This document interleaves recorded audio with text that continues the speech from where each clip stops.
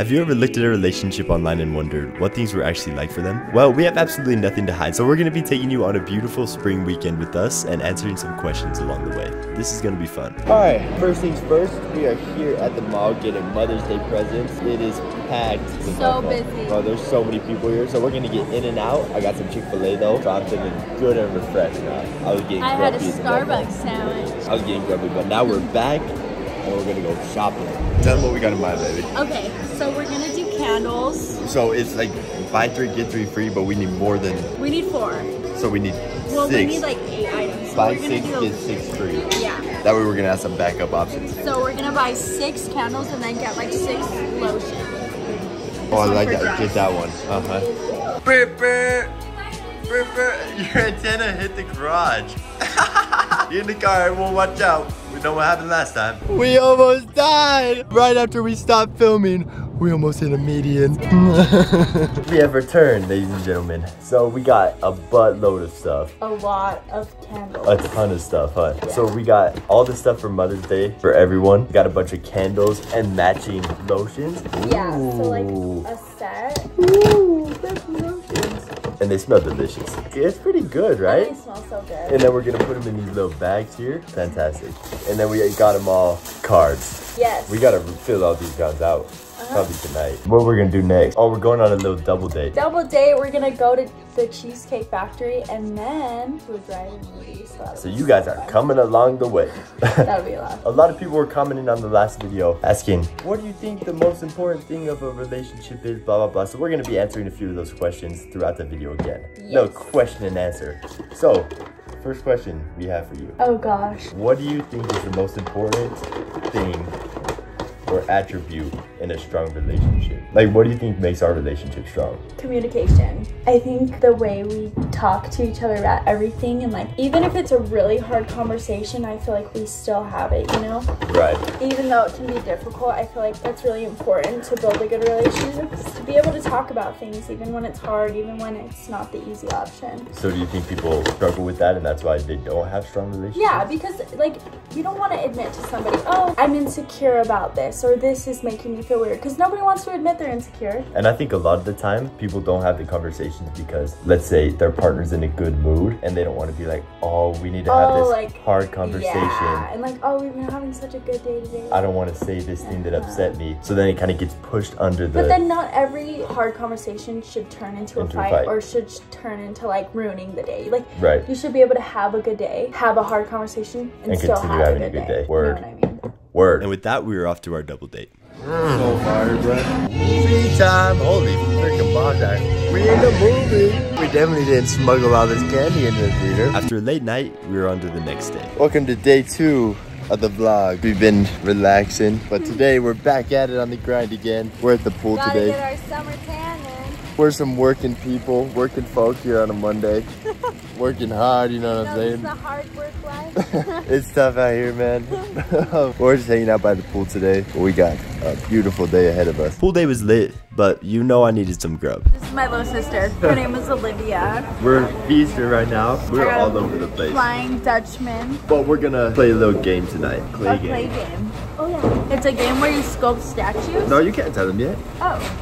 Oh. Sculpt statues, that's all you can know. But I'm about to go crazy on the game. So we're just keeping you updated.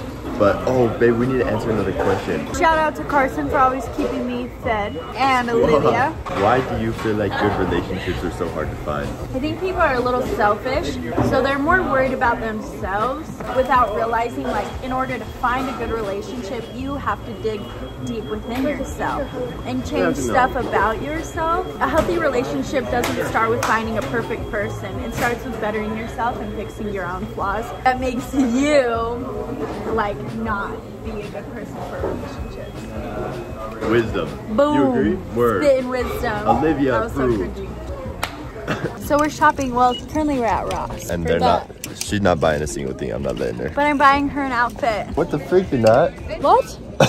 That's enough, enough shopping. we got some Dairy Queen. They forgot my freaking order, dog. They didn't order it. Essentially is what happened.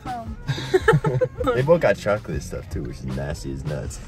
what is toxic masculinity to you? And what do you think about it? Oh gosh. That's a good one, huh? Mm-hmm. Dude, you're dribbling the stuff all down the side of that. I think people confuse what toxic masculinity is and what just like being masculine is.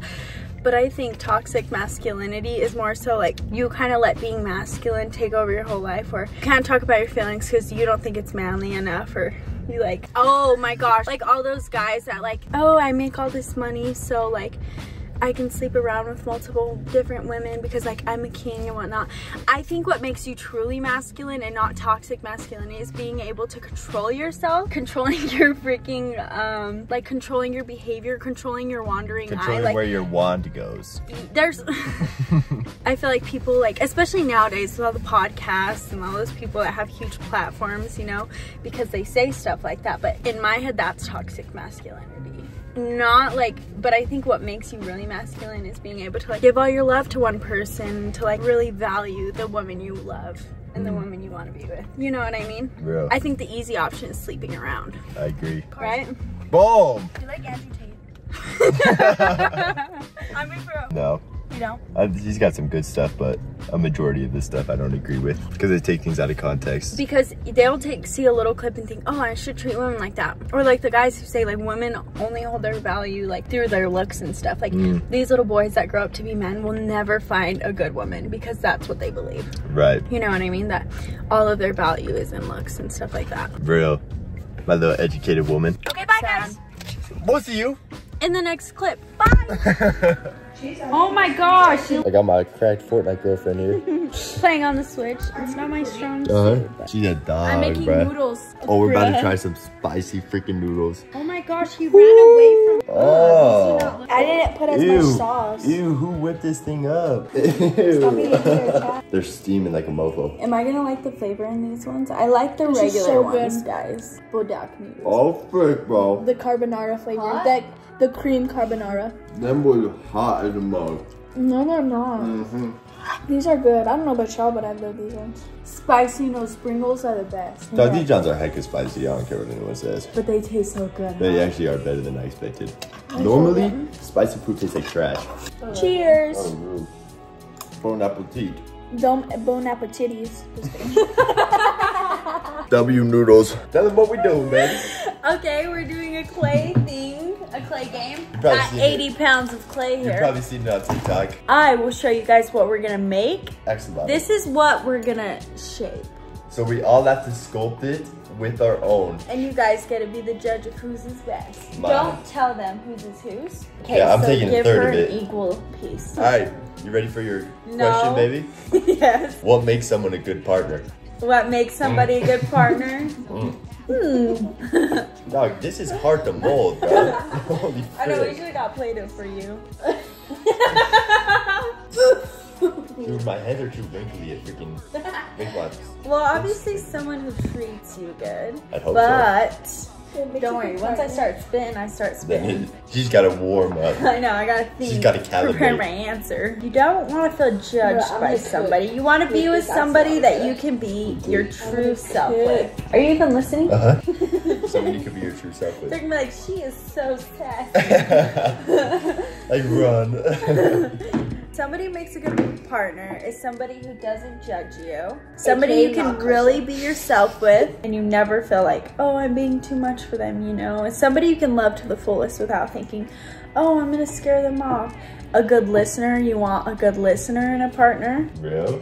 Right, but that, you can't run off of sweetness in a relationship. You need somebody who's reliable, who's show trustworthy, true colors. who's responsible. True colors. Because I guess it's person to person. It depends on what you're looking for in your partner. Would you say someone who aligns the goals that you have is important for yeah, of course. Like morally, you need to be in the same place. You gotta want the same things for your future. But the question was, was what makes a good partner? So what would you say makes me a good partner or makes you a good partner? Pluto, get out I of here. think Dude, what the frick you doing, bro? I think we're both very good communicators. So you have to be good at communicating in order to Very be good at communicating. You have to be trustworthy. Not your own love language, but the other trust? person's love language. That's fat as You have to know the other person's love language. You can't love them how you would want to be how loved. you would want to be loved. You have to get to know your person and know how they feel. which I think is the hardest part of a relationship. You think so? Oh, one of the hardest yeah, parts. because you have to spend a long time with somebody and learn what makes them feel loved. You can't love them. Because say, like, well, say that your love language is acts of service and you keep giving this person whose love language is words of affirmation, like, oh, I made your bed for you. Oh, I did this for you. And expect them to feel loved when It's not gonna what would make them feel loved is you waking up every day and saying, hey, you look good today. You look Mm-hmm. great. Like, I'm so proud of you. You know what I mean? You have to learn how the other person feels loved. And you need to have a conversation about that in order to understand that about someone. Yeah, for sure. But even after that conversation, you're gonna slowly get to know people. Like, and make sure you're might not think with dating somebody that wants to get to know you, that Right. wants to love you the way you want to be loved. It doesn't want to just receive love. That's what makes a good partner. Mm. Yeah. Oh, is it Olivia proof? Yeah. Olivia. But yeah. Yeah, but date Word, somebody baby. that wants Oh, to no, love you, head not wants to be loved. That Real. makes sense, right? I love it, baby. Yeah. Alright, you can stop that I love now. you. Okay, stop. I love you. P you. I'm just kidding. I love you. After many, many hours, here are the final results. Let us know down in the comments who won, but I think we all know. Olivia, let us know. This is mine. this is Carson. and this is Abigail. Bro, let me Of course. let me tell you this. Mine's the best. Mine's the best. Mine had a creative touch to it with the belly. That was not how the inspo pick was, so you We were following You an are inspo pick. Technically, he broke the rules. He's you out are of the game. disqualified. Person sucks. Mine's cuter than all these other lame. No, Okay. yours is fat and chunky. And just like that, the weekend had come to an end. If you like this, subscribe, and I'll see you next week.